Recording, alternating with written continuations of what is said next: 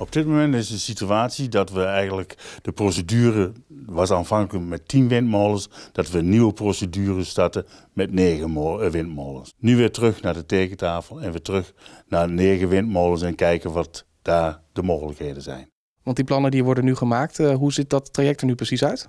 Het traject ziet er zo uit dat uh, wij als gemeente hebben nou uh, een bestemmingsplan nemen we in procedure en een omgevingsvergunning nemen we in procedure. Dat is eigenlijk het deel wat de gemeente aangaat. We, we zijn volop bezig en we hebben nu wel een kleine tegenslag gehad, maar we denken wel dat het goed gaat komen. Nou, de vergunningaanvraag die er ligt, daar zal waarschijnlijk een kleine wijziging op komen. En, en daarna verwachten we dat we ongeveer een half jaar vertraging gaan krijgen door, uh, door deze vernietiging van de, van de huidige vergunning. Wij hopen toch uh, dat we in 2018 uh, alle negen windmolens in bedrijf kunnen zetten. De ene kant is natuurlijk de klimaatdoelstelling, dat is heel erg belangrijk. Aan de andere kant zijn er ook bewoners in het dorp die zeggen van ja, maar dan komen er weer van die grote windmolens te staan. Snapt u dat? Dat snap ik zeer zeker. Er zijn, de, de, voor windmolens zijn altijd voor- en tegenstanders. En je moet proberen in dialoog te blijven en om gezamenlijk toch uh, tot een uh, overeenstemming te komen.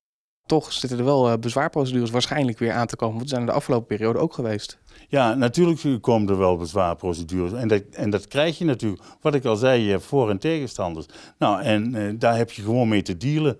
Ik denk dat de, de bezwaarmakers die we nu hebben, dat die niet op zullen geven en dat die uh, toch zullen proberen weer een bezwaar in te dienen.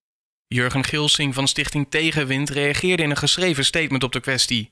Onze standpunten zijn vanaf april 2011 voor iedereen bekend en over de gedane zaken hebben wij, inmiddels met 42 brieven aan gedupeerde omwonenden, verantwoording afgelegd. Zij zijn onze achterban en voor hun belangen komen wij op.